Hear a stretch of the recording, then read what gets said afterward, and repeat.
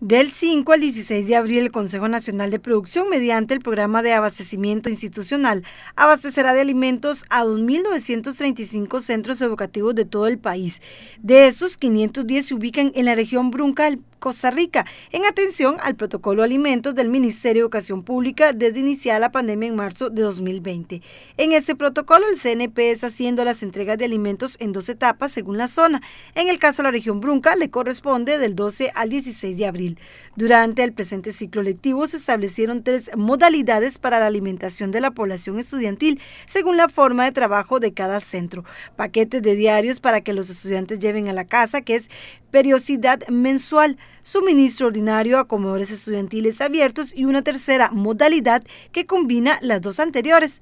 El presidente ejecutivo del CNP, Rogis Bermúdez, informó que los suplidores en el programa de abastecimiento institucional han tenido que buscar recursos financieros para hacer frente a la creciente demanda, reforzar su capacidad productiva de procesos, de transporte y de recurso humano, pero esto ha permitido notables mejoras en la logística de operación para el manejo de grandes volúmenes concentrados en las entregas mensuales.